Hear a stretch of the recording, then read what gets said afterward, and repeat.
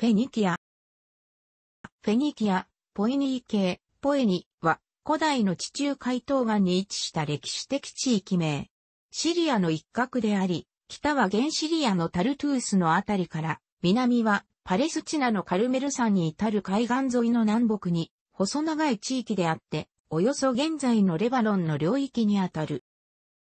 フェニキア人という名称は自称ではなく、ギリシア人による故障である。ギリシア人は交易などを目的に東から来た人々をこう呼んだ。フェニキアという名称は、の居住地がギリシャ語で、フォイナイッキーポイニケーと呼ばれたことに由来している。その語源は不明であり、フェニキアがミュレックスと呼ばれる貝から取れる紫の染料、貝紫を特産としていたことから、紫色、または黄色という意味のギリシア語を語源とする説も存在する。今日でも南部のサイダなどの街中でこの貝殻の山を見ることができ、フェニキア人の母体となったとされるカナンという呼称も、アッカド語で染料を意味するキナフに由来する。歴史家ヘロドトスは、その著書、歴史の序文で、ペルシア側の学者の説では、争いのもとを成したのは、フェニキア人であったという。それによれば、フェニキア人は、いわゆる航海からこちらの海に渡ってきて、現在も彼らの住んでいる場所に定住するや、たちまち遠洋航海に乗り出して、エジプトやアッシリアの貨物を運んでは各地を回ったが、アルゴスにも来たという、と書いている。フェニキア人は、エジプトやバビロニアなどの古代国家の狭間にあたる地域に居住していたことから、次第にその影響を受けて文明化し、紀元前15世紀頃から都市国家を形成し始めた。紀元前12世紀頃から盛んな海上交易を行って、北アフリカからイベリア半島まで進出、地中海全域を舞台に活躍する。また、その交易活動に伴って、アルファベットなどの古代オリエントで生また、優れた文明を地中海世界全域に伝えた。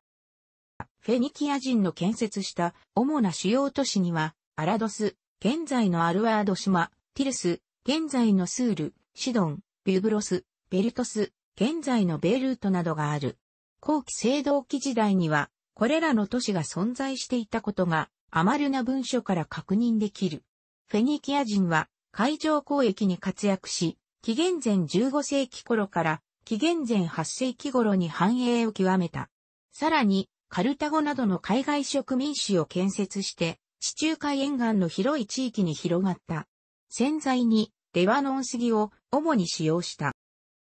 しかし、紀元前9世紀から紀元前8世紀に内陸で勃興してきたアッシリアの攻撃を受けて、服属を余儀なくされ、フェニキア地方、現在のレバノンの諸都市は、政治的な独立を失っていった。アッシリアの滅亡後は新バビロニア、ついで、アケメネス朝、ペルシア帝国に服属するが、海上交易では繁栄を続けた。しかし、アケメネス朝を滅ぼしたアレクサンドロス大王によってティルスが服されると、マケドニア系の勢力に取り込まれて、ヘレニズム世界の一部となった。一方、紀元前9世紀に北アフリカに建設された植民都市カルタゴはフェニキア本土の衰退をよそに繁栄を続けていたが、三度に渡るポエニ戦争の結果、共和制ローマに併合されて滅んだ。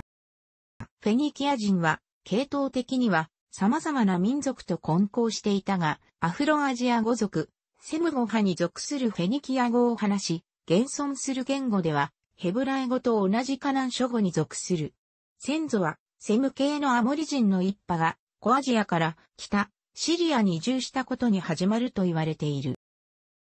彼らが、フェニキア語を書き表すために発明したフェニキア文字は、コヘブライ文字、アラム文字、ヘブライ文字、ギリシャ文字、アラビア文字など、ヨーロッパ、西アジアの多くの言語で用いられる起源となった。ギリシア文字がフェニキア文字を元とすることから、フェニキア文字はアルファベットのルーツとされる。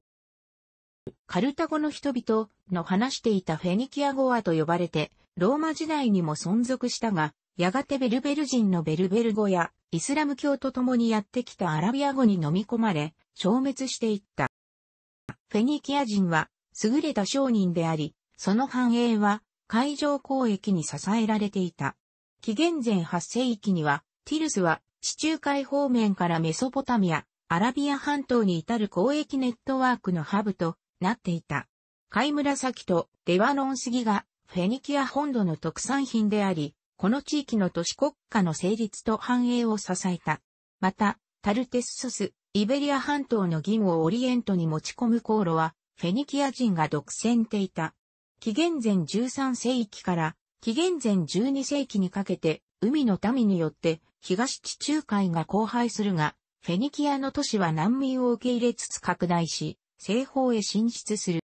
紀元前11世紀には、テュロスはイスラエル王のダビデと友好関係を結び、紀元前10世紀にテュロス王のヒラムはイスラエル王のソロモンと共同で紅海の貿易に進出する。紀元前9世紀にはトゥロスを中心にフェニキアの貿易網が栄え、その様子は旧約聖書のエゼキエル書に記されている。ギリシア人のホメロスは、女児詩、イリアスやオデュッセアで、フェニア人を船を操る商人や職人の集団として表現した。ヘロドトスの歴史によれば、紀元前600年頃、エジプトのファラオネコ2世の命を受けたフェニキア人は、航海から出港し、希望峰を経て、時計回りにアフリカ大陸を一周し、3年目にエジプトに帰ってきたという。バルトロメウディアスが希望峰を発見する2000年以上前のことである。フェニキア人は極めて優れた航海術を有していたのである。楽しくご覧になりましたら、購読と良いです。クリックしてください。